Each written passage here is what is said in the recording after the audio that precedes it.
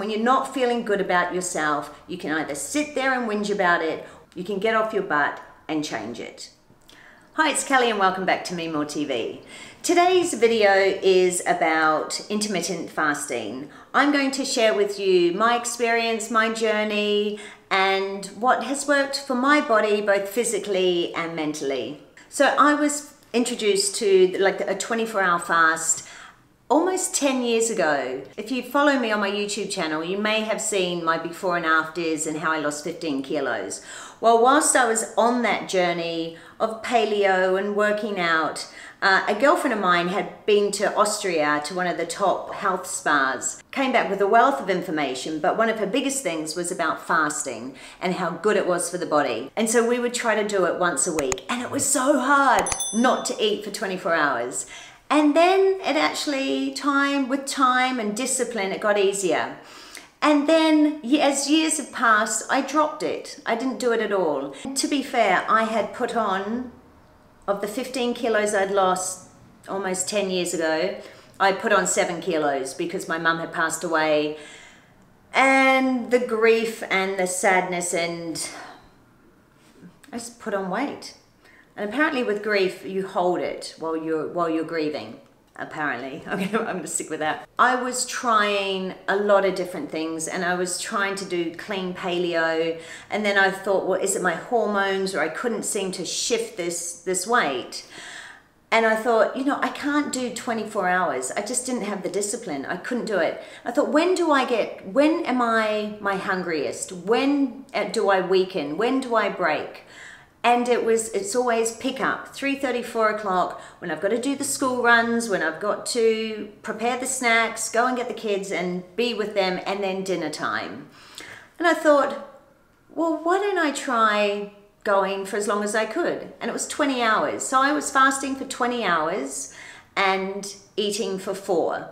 So that was between 4 and 8 p.m and then i would fast so for me, it was initially getting into the 24, not 24 hours, but you know what I mean, 24. And I found that quite easy. And I did it every day. Well, five days. I think on, on I do Monday, Tuesday, break Wednesday, do Thursday, Friday. And it took about six weeks and I finally dropped the weight. As I looked into it more, you hear more about the 16-8, which I quite happily do. I do either 16-8 or 24, depending on how I feel. And you've got to listen to your body because that's really, really important. Again, this is my experience, my journey. I'm not a nutritionist, I'm not a specialist, but I would like to put in the link of Thomas that will come in there. He really breaks down the science behind fasting. The most important thing with a fast is being able to fast for at least 16 hours because that is when it's called autophagy. It's when the cells start to rejuvenate. This is when it becomes great for anti-aging, um, you know, for the, the exterior, but also the internal physical side of it it is you know you you reboot your organs your digestive system gets to stop you think of all the food we eat all day long and it's like 50,000 sit-ups the whole time. That digestive system gets to rest and that is so good for the gut. It's so good for the body. It's so good for the mind. I have some girlfriends that fast and they eat almonds. I go, what are you doing? Oh, I'm, just, I'm fasting, but I'm allowed nuts. I go, and look, do whatever works for you. But it's about everything I just said, but letting the digestive system, system rest. If you're eating nuts, it's working. It's got to digest it. So how I do it when, when I fast is lots of water, um, coffee. I don't I don't put any um, almond milk or cashew milk in your coffee. I think you might be able to, but I just try to keep it pretty clean. Teas, herbal teas. Um, no smoothies, no juices. You can't put anything that might um, get the digestive system working again. It's actually a part of my lifestyle. During the week, I fast. I do 16-8 at least two days a week, and the 24, I'll do one to two days a week. I really do it based on how I feel. If you're tired, there's no way I'm going to do a 24 because there's no way I can get to, to 4 o'clock. Well, if I'm doing a 16-8, I will finish at 8 and then eat at 12. And that's so easy for me. But we uh, but I eat with the children and I eat early. But if I can't, I'll do 9 to 1. So 16 8 really works for me. And can I just say I was one of these people that used to preach breakfast is the most important meal of the day. Clearly it's not because there's so much science behind this now. To me, there's only win-win with fasting. And if you haven't tried it, it is something I absolutely recommend. I can work out without eating, but I always, okay, to be fair, I could always, I always prefer to work out without food. Not that I'm working out that much these days, but my physio and anything physical, I don't need food.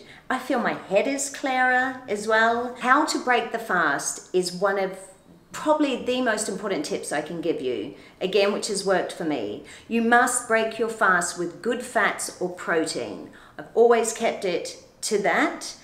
I've actually just filmed a video where I show you about five, I think, paleo meal recipes on how to break a fast. So those are my meals and the meals that, that work for me, um, but that will be up on my YouTube channel after this video. I know a lot of people associate fasting with keto. Uh, I'm not keto. I think you've got that by now. I'm paleo. I'm a paleo girl. Paleo is a lifestyle for me and it's coming up to 10 years. So does intermittent fasting work with paleo? Absolutely. Can I just say too, I tried keto. I tried it for about three days. I tried so hard. I couldn't get the fat, I couldn't do the fat intake that I needed. It was just too much. I find with paleo, for me, it's just balanced. It's just balanced. I don't need to go into ketosis. And I know a lot of people think paleo is like, God, you can't eat anything. You can. Look at my YouTube channel. there is so much you can eat.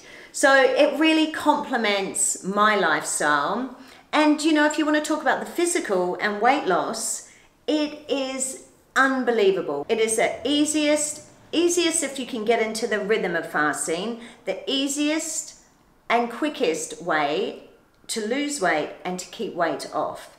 My usual, after three kids and all my weight loss, my, my sitting weight was about 64, 65. Now, my natural sitting weight is 62, 63. Actually, can I just say, if you're about to start this or start fasting, you must weigh yourself because it is phenomenal the results you see. Can I tell you a quick little story? You know I love sharing what, what I think works and that can benefit your health, your physical health, your mental health, your mind, your body, and, and the aesthetic. If that's important to you, if you look good, feel good, feel good, look good. It, they all they complement each other.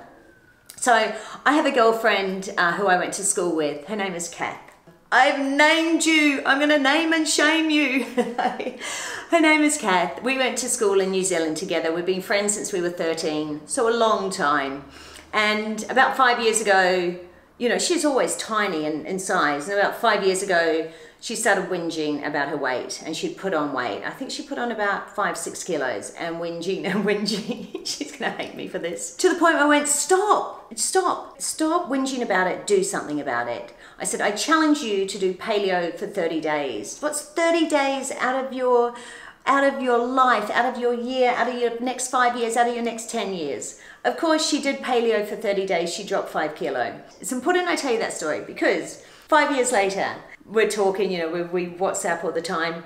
She'd put on a bit of weight. Now, it's not about the weight, it's about how you feel. And she wasn't feeling good. And when you're not feeling good about yourself, you can either sit there and whinge about it, or you can get off your butt and change it. I knew she wasn't feeling great in her skin.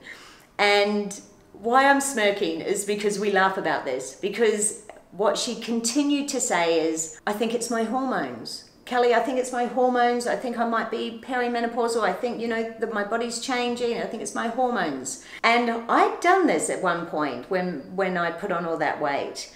And I didn't know if it was grief, if it was hormones, it was a number of different things. And I said, you know, just stop about the hormones. I said, why do you say that? It's because we read about it. We read about it. Menopause means you're going to put on weight. Perimenopausal, menopause, menopause, weight gain, weight gain, weight gain. Rubbish. And I know that because I'm menopausal right now and I'm going to do a video on that. So I gave Kath a challenge just before I went out to Australia in October.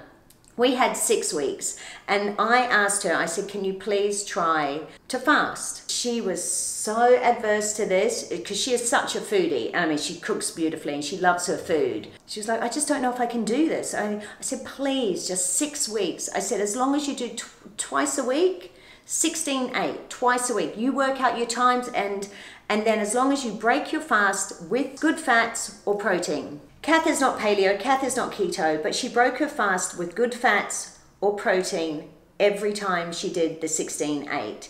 Then she would eat what she eats, but not excessive sugar or carbohydrates. But if she wanted a sandwich, she'd have her sandwich. She lost seven kilo. Seven kilo.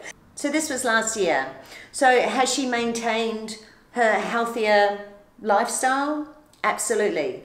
Does she fast every week? No. But does she fast? Yes. Does she do the 16 8? Yes. Is it a part of her lifestyle? Yes, because she's seen the benefits.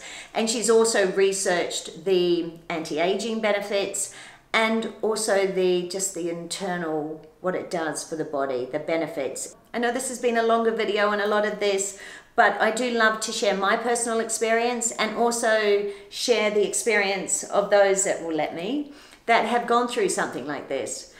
So that is my intermittent fasting experience. I'd love to hear what yours is. If you want to make a comment, let me know. And any tips, I am a big believer in you never stop learning. So if there's anything else you want to add that I could try, I'd love to hear about it.